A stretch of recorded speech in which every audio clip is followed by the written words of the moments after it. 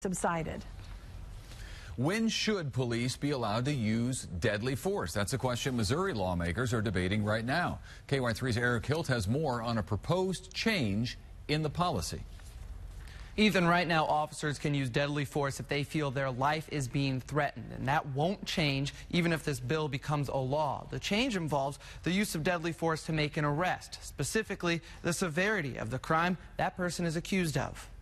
Defining deadly force. We only use deadly force in extreme cases. Today, the state Senate voted to change when police officers can use deadly force. Right now, officers can shoot when a suspect committed any felony. This bill, which is sponsored by Springfield Republican Bob Dixon, says officers can only use deadly force to make an arrest when the suspect committed a violent felony, bringing Missouri's laws closer to the federal standard.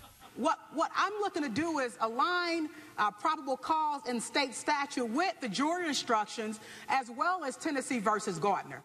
While it sparked a lot of debate at the Capitol, local law enforcement say the bill won't change much when it comes to day to day operations. I don't see anything in there that differs from what contemporary and properly trained police agencies do right now. But changes in the law would mean changes when it comes to training. Legislation was passed, it would cause uh, most agencies to revisit the law, which is always good, and to bring officers up to speed on what the newer legislation is.